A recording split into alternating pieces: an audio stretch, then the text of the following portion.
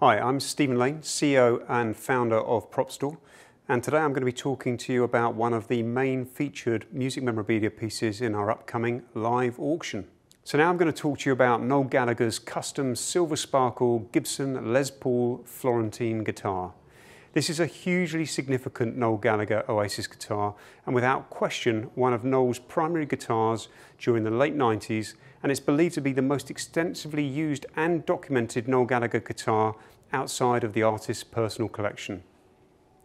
This one-of-a-kind silver sparkle Gibson Les Paul Florentine was used and owned by Noel Gallagher during a period when Oasis were considered the biggest band in the world. This guitar was custom made for Gallagher by Gibson's custom shop in 1997 and is documented as such by Gibson and was used frequently during 1997 and 1998 for recordings and live performances.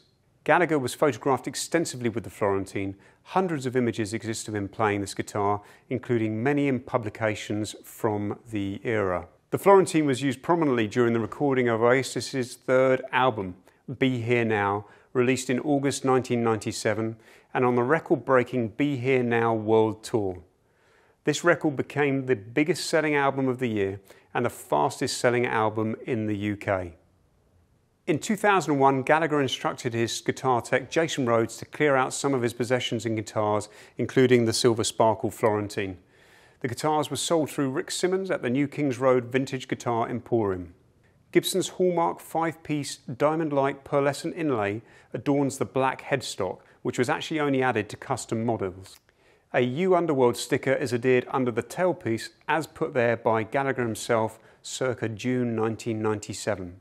The guitar comes presented in its original protective hard brown leather case, which is lined in a pink faux fur and velvet featuring a white Oasis stencil.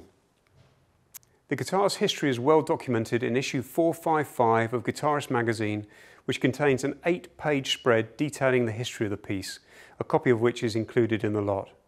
It's also accompanied by a handwritten note of provenance from Jason Rhodes, a letter of provenance from New Kings Road Vintage Guitar Emporium, and an array of material featuring the guitar, including magazines, newspapers, two framed images of Noel playing the guitar, and a framed Right Here, Right Now poster. So most importantly, Noel described his Silver Sparkle Florentine as the best guitar in the world in the October 1997 issue of Spin magazine, a statement that encapsulates the historical and cultural significance of this guitar, and it carries an estimate of 300 to 500,000 pounds.